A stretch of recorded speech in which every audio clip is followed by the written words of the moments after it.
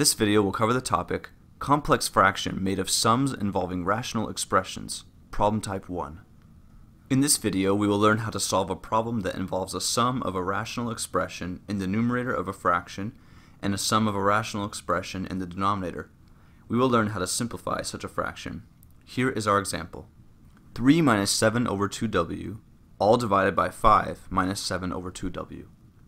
When we look at a problem like this, the first thing we want to do is find a smart way to alter this without changing the value of the fraction, and by so doing, we will get rid of the fractions inside of our fraction.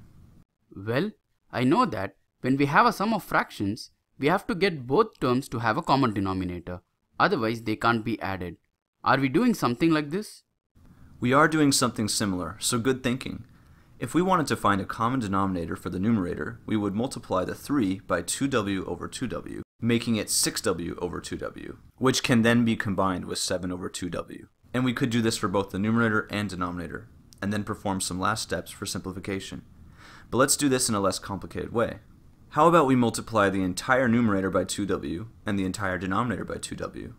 Essentially, this is multiplying the whole problem by 2w over 2w, which equals 1, so it doesn't actually change the value of the original fraction. Start with the numerator. If we distribute 2w into the first term and 2w into the second term, we now have 3 times 2w minus 7 over 2w times 2w. This simplifies to 6w minus 7. Let's do the same thing in the denominator. We'll distribute the 2w into the first term of 5 and to the second term of 7 over 2w. And after doing so, the result is 5 times 2w minus 7 over 2w times 2w. This simplifies to 10w minus 7. At this point, I see that we have 6w minus 7 over 10w minus 7. Is there anything else we can do to simplify this? No, there isn't. This is our final answer. So because there was a fraction in both the numerator and denominator, and they both had a denominator of 2w, I was able to multiply the numerator and denominator by 2w to cancel it out.